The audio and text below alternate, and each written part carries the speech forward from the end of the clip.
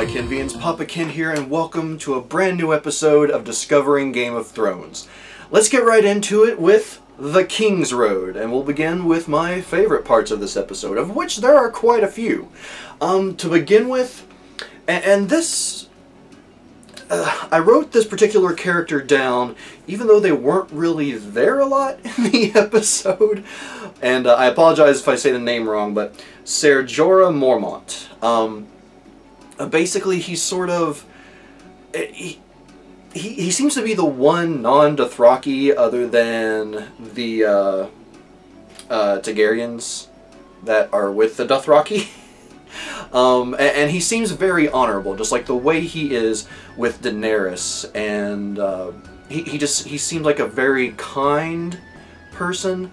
Um, undoubtedly, someone who underneath that kind exterior will slaughter someone without a second thought. But at the same time, it's just I, I like the fact that there is that warm, well, not necessarily warm, but that kind figure there among uh, this crowd. Not to say that none of the Dothraki are kind. I mean, that's that seems a little bit uh, uh, uh, offensive of me to say, but just it seems like that one person that is able to help um, Daenerys feel more comfortable before what comes later in the episode, which I'll get to. but moving on, my second favorite part of this episode is just the, the simple scene of Tyrion waking up in, I guess it was a barn, but waking up with all the dogs very much hungover. and then immediately after slapping Joffrey. Now, I, I know people hate Joffrey. I, just from this episode alone, I hate Joffrey. I can only assume he gets worse. But yeah, um, just the way he slapped Joffrey around was so strangely cathartic in a way because I was having a very stressful day when I watched this. But yeah, that was that was a wonderful little segment for this episode. Um, moving on, my next favorite part of this episode was something I didn't expect. Um, we get to see Cersei's other kids. Um, I, to the best of my knowledge, I thought she only had Joffrey because, again, this could be just a thing of me not fully paying attention or me missing certain things, but when they arrived, I don't remember these kids being there. I don't remember these kids being there in any other scene.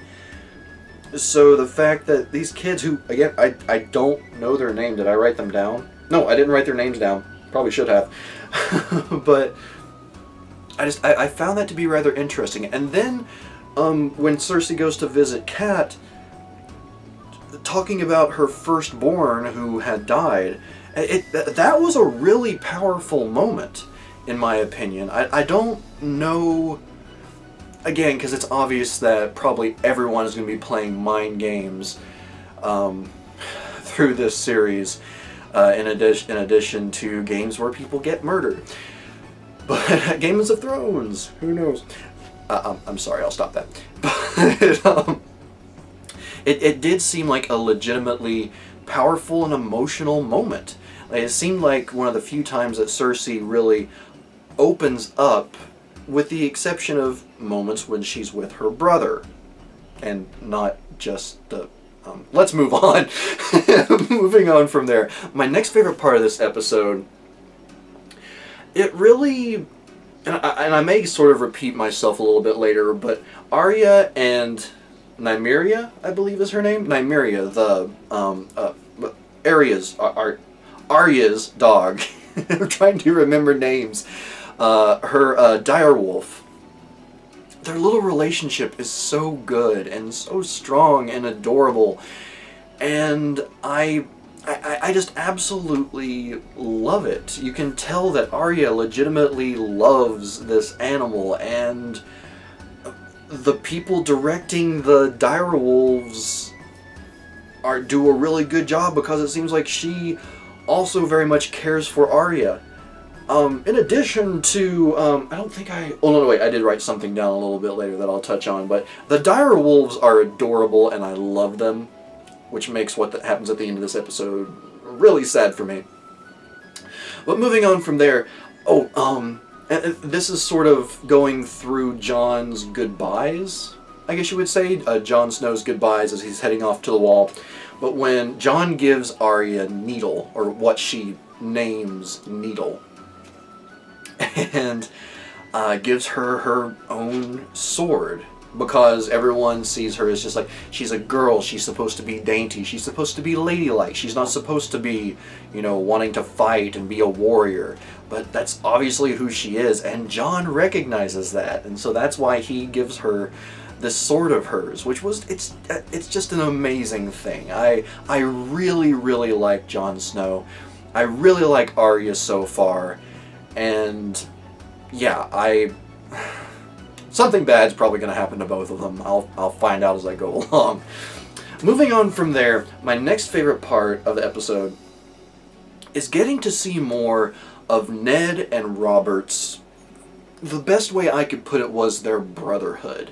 Like, they, they've obviously been very close friends. They've fought together. Um, they have their own little fraternity, I guess you would say. If I'm not sure I'm using that in the right way, but still it's like there's very much a kinship between the two of them. There, there is um, respect, there's trust, to a degree, I guess, when we reach the end of the episode. But getting to see their relationship and seeing them just cut up and have fun, I I really enjoyed that. Uh, there was admittedly sort of a little segment where they're talking about uh, Jon's birth mother where Ned very much just, uh, you know, he, he closes up very quickly. So, I don't, I, don't know, maybe it'll be revealed what exactly it is that sort of is like, you know, this sort of dark mark in their relationship, but overall, the brotherhood they have, the kinship they have, I really like and enjoy. But my next favorite part of this episode was the scene where the assassin comes to kill Bren. Bren, Bran, whatever. And just that that entire scene is amazing. First of all, Lady Stark, you know, basically taking on this assassin. I mean, it, he's a trained killer. I don't know if she has any actual um, fighting experience or not, but she still puts her all into it. And I mean, she puts her hands right on a blade to try and you know get this well first of all get the man away from her son and also keep him from killing her so that's just that scene right there was phenomenal and then when Bran's dire wolf comes in and just slaughters the assassin purely um that was that was one of those scenes where I just you know, gave a little air fist pump. It was just like, yes, that was awesome. Because, I, I mean, I don't know if we'll ever learn a name or anything like that of this particular assassin, but, um, you know, he served his purpose, and that was getting slaughtered in a most glorious way by a dire wolf. Oh, so yeah, that entire scene was amazing to me. And uh, while on one hand I would like to see more like it, that probably means that people I like will die. So hopefully not too much. Moving on from there, um, the fact that Cat, or I don't know whether to call her Cat or Lady Stark, but um, I'll, I'll, refer to her as Cat because I always forget her actual name. Because um, I always forget to write it. Catelyn? Catelyn? whatever it is. I'll call her Cat. Um, uh, it's what I call it's like she turns into like you know Inspector Cat. She goes um, investigating the area where Bran fell and finds you know this mysteriously clear spot. Wink, wink, nudge, nudge. Among all the dust in this tower, and finds that one of them is a blonde hair, very much like that of Cersei's. And I don't know what she might assume happened. But, uh, well, obviously she thinks that the Lannisters were, um, well, Cersei and Jaime Lannister was uh, you know, responsible for it. But I don't, she probably doesn't suspect that, if you know what I mean. Of course you know what I mean. I'm sorry. I'm a child.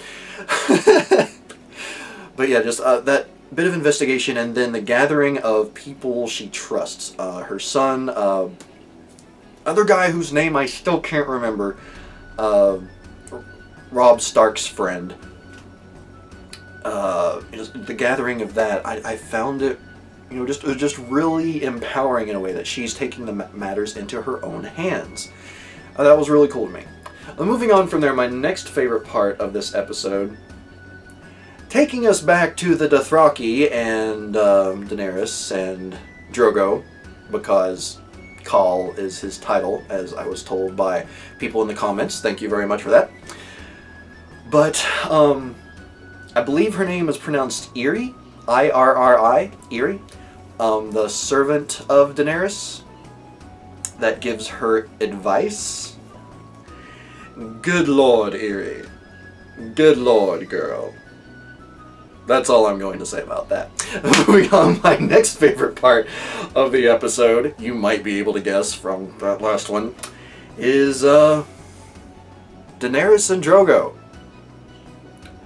And I think just the best way I can possibly sum this up is... Oh my. Yes, I'm a pervert, I'm sorry. Anyway, moving on. There's something wrong with me. My next favorite part of the episode, this is one that I did technically mark out, but I decided to keep it just so I could mention it. Originally, I was going to say the Hound who I believe is either the bodyguard or like head knight maybe of the Lannisters slash um, the Baratheons. Whatever. He's the guy with the screwed up face and gets treated like trash. And I, at first I was going to say he was one of my favorite parts because it seemed like there was something very honorable underneath this like just very ugly and disfigured exterior that gets treated like trash, particularly by Joffrey. Um, and maybe Jaime too? I don't remember. But then at the end, when we find out that he took the butcher's son and dragged him around and murdered him, he immediately lost favor with me. So I find him a very intriguing character. I'm interested to see what else he does. Probably a lot of murdering. But he's definitely not what I would consider one of my favorite parts of this episode now. So anyway, moving on from there. My next favorite part of the episode is the segment, and, you know, speaking of the Butcher's Boy, is when uh, Sa Sa oh no, I'm forgetting the uh, older daughter's name of the Starks. Uh, Sansa. Sansa, yes. Um, her and Joffrey go and find Ar uh, Arya play sword fighting with the butcher's boy and just having fun, and Joffrey acts like a little jerk. And uh, yeah, anyway, the segment that follows, Arya hits Joffrey. Joffrey attacks Arya just trying to like swing wildly at her and probably kill her. And then Nymeria bites Joffrey. And oh, th that was just another one of those segments where I was just like, oh, this is this is glorious. Thank you so much for doing this. I love these little dire wolves. Which again brings me to you know, one of the sadder parts of the episode. But that segment right there was just amazing and glorious. But, well, to repeat myself, what comes afterward is unfortunately, I, I call it one of my favorite parts because of what it symbolizes in a particular character, not the exact events, but because uh, Arya gets Nymeria to run away, um, they decide to that a, a direwolf needs to be punished.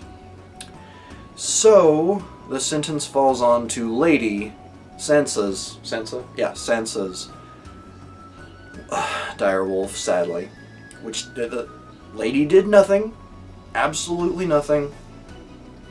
But sentenced to death, and rather than uh, it, in Ned's favor, rather than just having this loved animal killed off by a butcher, he elects to do it himself.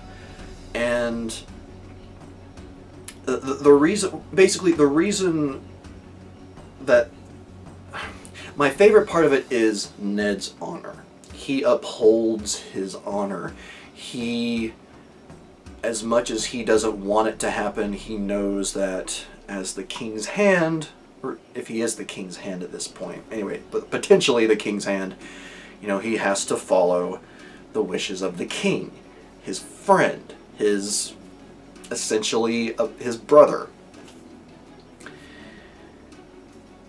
So the sentence has to be carried out, but rather than just have it be done by some murderous thug, he wants it to be done by himself. As uh, probably very much paraphrasing here, but the dire wolf is of the north.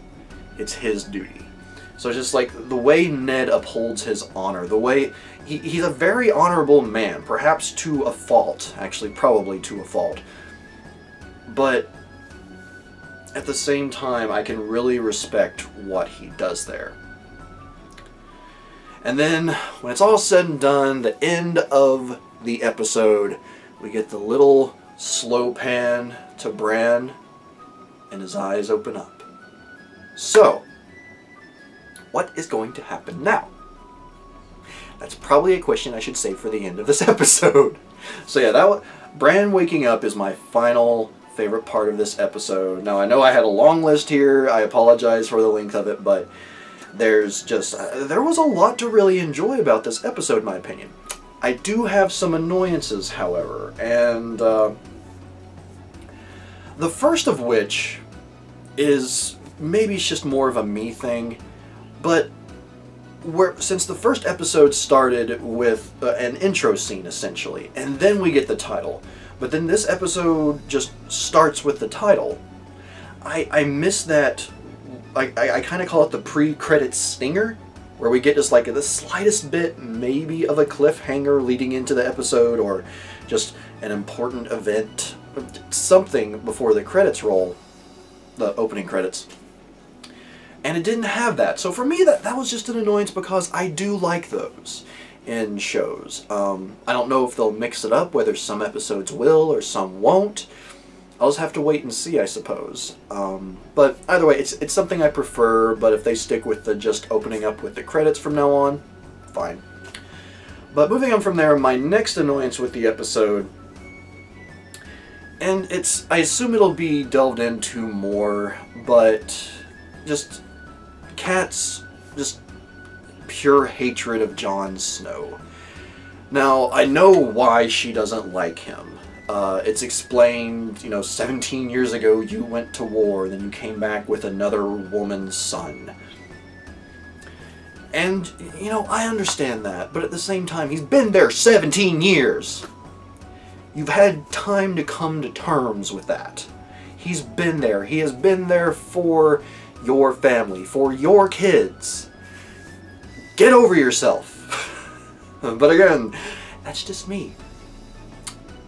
So anyway, and the, the kid's already labeled a bastard for life, so what are you going to do? Anyway, uh, just that's one just one instance in which I really didn't care for Cat in this episode. Moving on, my next annoyance uh, was that Cat makes such a big deal about Ned leaving and it not wanting him to go. But unless I'm mistaken, and if I am mistaken, then, you know, I'll, you know, count this annoyance null. But in the previous episode, when she got the letter from her sister, I believe it was her sister, you know, she's talking about how, you know, he he needs to be well, both him, her, uh, both Cat and Ned talk about how he needs to be the hand in order to protect the king. And it, it seemed like, to me, at the time, that she was ready, like she was, at that point, understanding why Ned should be the hand of the king. But then all of a sudden, and it's probably because of Bran, I admit. You know, Bran is in this coma for however long, which I'll get to that and I just... It, it seems like she flip-flopped to me. and that might be inaccurate. Again, if I'm wrong there, please do correct me, but it's just, uh, it, it annoys me. But moving on, oh, uh, here we go. Time. The, uh, like the last episode, just the passage of time. There's no indication of it at all. Seemingly, from what I was watching, it, it seemed like everything here took place over the course of maybe a couple of days. Maybe a couple of days. At the most. However, we get the line, I have prayed for more than a month. And that has occurred from the beginning to a certain point in this episode where it doesn't seem like a lot of time has transpired. So, I just, I don't know, maybe it's something I'll get used to more as I go on, or I'll just learn to ignore it. But the passage of time in this show, just, it, it comes and goes. It's like all of a sudden, oh, it's a, it's a month later. And, uh, we have no indication of this other than the fact that the dire wolves are a little bit bigger and uh, someone says a month has passed or I've prayed for a month. So there you go. So yeah, passage of time. And then my final annoyance with this episode is Joffrey and Sansa. Dear God, want to throw up in my mouth. I, uh, I really, really hope that I come to like Sansa. She she had a moment at the end when she finds out Lady is going to die. She had a moment where I truly did empathize her with her for like the first time in the show so far. But the rest of it, it's just her, her and Joffrey, and I just again it makes me want to gag. They. it's it, it, not for bad acting. It's like maybe we're supposed to not like Sansa in the beginning here, but she's just, she gets, well, not her specifically, but her and Joffrey both just grate on my nerves in a way that is just palpable. So yeah, so yeah, don't care for both of them right now. Keeping my fingers crossed for Sansa because she is a Stark, and thus far she's the only one of the Starks I don't particularly care for. And then there's the youngest of the Starks that uh, I I, I, guess I've still missed. I still haven't actually caught him in an episode, but Bran's youngest brother, or the, the youngest of the Starks, missed him again in this episode, but apparently he's a person. Anyway, but kind of got off track there. But those are my favorites and my annoyances. As always, please do leave your own in the comments down below. I am definitely looking forward to, well, hearing your thoughts on my favorites and annoyances as well as some of your own. Let's have a discussion, shall we? But moving on from there, it is time for uh, not the track of the episode because I, some people requested that I do keep track of the episode in and I will if anything significant comes up, but really, uh, it's still the intro credits for me, so I'm not really going to say that that's the track of the episode, because it's just the track of the show at this point. But moving on into my quotes, my favorite quotes of this episode, and we did get quite a few. Um, and uh, I again, uh, well, I apologize as usual for the language, but, you know, the, because of this show, kind of hard to avoid. But Joffrey, and I will say, this is probably the one time in which I kind of like Joffrey because he made me laugh. But when Tyrion wakes up in the barn with all the dogs, Joffrey says, Better looking bitches than you're used to, Uncle. That was a marvelously written, marvelously executed line. I absolutely loved that. And, uh, you know, and then after that, Tyrion proceeds to slap the crap out of Joffrey.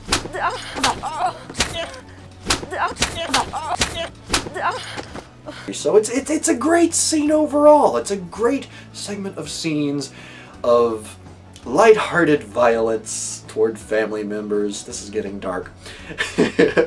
and, um, reference to Tyrion's holes, shall we say. But moving on from there, my next favorite quote, or the next quote of the episode is one that just really it, it got me right here when it was said by Ned. It, it said from Ned to Jon Snow before they separate, and Jon goes starts heading toward the wall, and Ned heads with Robert down the King's Road.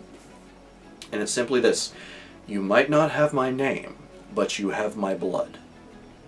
And again, that just for I, I, maybe it was because it came so soon after Cat just seemingly wanting to tear Jon's eyeballs out, and Jon always getting called a bastard by you know most people. But the respect he does get from Robb, from Arya, and from his father, it just it, it was really touching, and that line just worked so well for me. So yeah, uh, hopefully we'll get a really good line from Jon soon, because it seems like two of my favorite quotes in the past two episodes have been from people talking to Jon. Uh, Tyrion last episode, and then Ned this time. My next quote of the episode uh, comes from Tyrion, and it oh, it's a glorious one. Uh, and, and, it's it, it's so it's such a good one too. This is one that if it I, I'm sure it probably exists already, but I want on a bumper sticker or something. My brother has his sword, and I have my mind, and a mind needs books like a sword needs a whetstone. It's it's true. It's true, because like you know, uh, uh, what's the phrase? Um, the mind is an is a horrible thing to waste. Paraphrasing, obviously, but you know, you got to. If you don't exercise your mind, if you don't read, if you don't keep educating yourself in some way, your mind will just go to waste. So that's that's such a good quote, and it's it's another one of those. I feel like Tyrion's going to be not fourth wall breaking, but he's going to like most things he says for me are probably going to reach far outside of this show and into real life. Now, my final quote of the episode comes from Irri, Irri, whatever it is, and it's just quite simply when she's trying to when she's teaching Daenerys um, some things for the oh my. I'm five. Um, oh uh, uh, Daenerys says uh, that's not the Dothraki way. It's like you know she doesn't want to get in trouble. She doesn't want to cause trouble. To which Irri says if he wanted if he wanted the Dothraki way why did he marry you? Which is an excellent point. I mean, you could say it's just kind of like he, he just wanted someone, but the quote itself and the way that Drogo reacts later um, does imply that there is a reason behind why he, or like there's other reasons behind why he married her, even if maybe it was just subconscious for him. So yeah, I just, I really like that line. Uh, all of those quotes were really good. Um, obviously, both of these episodes have had plenty of lines that were very quotable, so let me know um, some of yours in the comments down below, or on Twitter, or wherever you want to. It's an open world. Uh, I, don't, I don't know why I did that. Moving on. Um, as for a theory for this episode, it's one that came from uh, the very quick scene with uh, Sarah jo Jorah Mormont. And it's when he's talking about the ghost grass and the just the myth uh, that the Dothraki believe. Um, it's my theory is basically this: is that there's some importance to this ghost grass, and that, in his words, murders all other grass, and the Dothraki believe that that's how the world will end. It's a it's a strange theory, but I feel like maybe there's either symbolism there for maybe what is coming up in the story, perhaps, um, and it's more of a metaphor, or maybe the ghost grass is connected to something. The, the White Walkers, or something along those lines. It's it's hard to say. But again, just it's just a theory and a really far out there one that I'm making up uh, two episodes in. Anyway, all right. Um, before I get into my overall thoughts, I do have uh, what the of the episode, and I really mentioned it earlier. It's when we see that the Hound has murdered the butcher's boy by dragging him behind a cart, and he just doesn't care. It's not the, one of the most extreme WTFs, obviously, but it just I, I just remember feeling so mad when I saw that happen. It was just like, really? Why? He didn't do anything. And, ooh. Yeah. Just another reason for me to hate Joffrey. And now the Hound. But anyway, my overall thoughts on this episode. Um, know, despite all the really good things I had to mention, um, it, it was kind of slow. It, it, definitely had some moments that were really enjoyable, and again, it's like had me just very going, yes. But at the same time, there, uh, maybe maybe it's because I'm also watching um, some other shows at the same time, so it's hard for me to measure it out. But for some reason, this episode felt slower to me. It's like, you know, they're definitely laying out a lot of story, uh, building some things up, and probably setting uh, setting some groundwork for what is to come. So for me, it just felt a bit slow, for the most part uneventful, but at the same time, I, there's nothing wrong with that really, uh, because you know not every show is going to have just constant action. Which admittedly I do enjoy. I'm looking forward to seeing some true action and not just people getting slaughtered or pushed out of windows but yeah, I'm uh, just very much looking forward to more. It was a good episode overall, in my opinion. You know, there's nothing wrong with it at all. Just, um, again, kind of slow.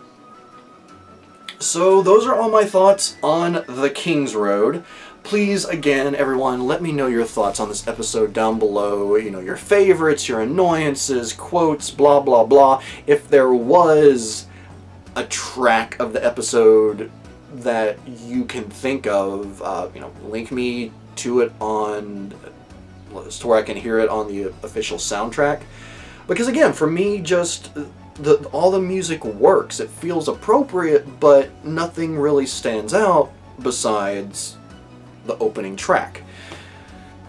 But that's just me. Um, but alright, everyone, thank you so much for joining me for this second episode of Discovering Game of Thrones. I hope you enjoyed it, and I will see you all next time for Lord Snow.